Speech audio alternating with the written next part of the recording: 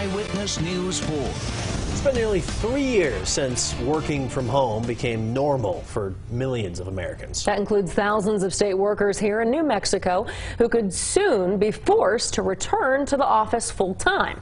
The state personnel office sent a message to state workers last week announcing plans to reverse its telework policy starting in January. And wouldn't you know, a lot of government workers are not too happy about physically having to go back to work. Griffin Rushton spoke to union leaders who say this move could cause hundreds hundreds of people to walk off the job.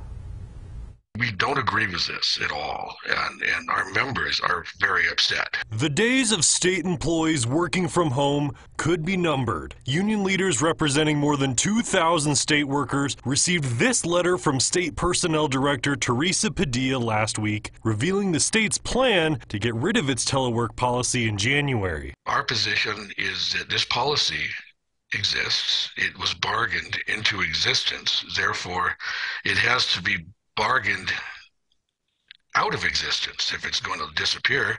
And frankly, we don't think it should go away. Padilla says only 38% of state workers are utilizing telework options, and in a statement to KOB4 said it's critical the state government is consistently available and responsive to constituents. Earlier this year, House Republican leaders blamed remote workers for poor service at several state departments. Union reps are firing back. That's not the problem. The problem is that there are not enough people, not enough workers to do all the work, period.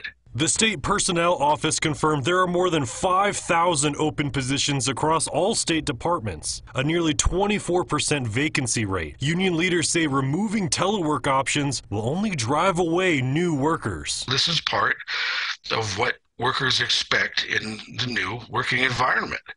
Uh, and when they can't get it, they can go elsewhere. Union leaders say they've also heard from hundreds of current employees who are willing to quit over this, especially ones who could be forced to commute from Albuquerque once again. They have realized, you know, in terms of work life balance, their life is more important than spending two hours commuting every day. Union reps agree teleworking is not right for every position, but they believe taking it away from everyone will cause more harm in the long run. Just like the administration states, we also want a robust and effective state government. We just don't think this is the path to achieve that when employees have other options elsewhere and will entertain them if needed.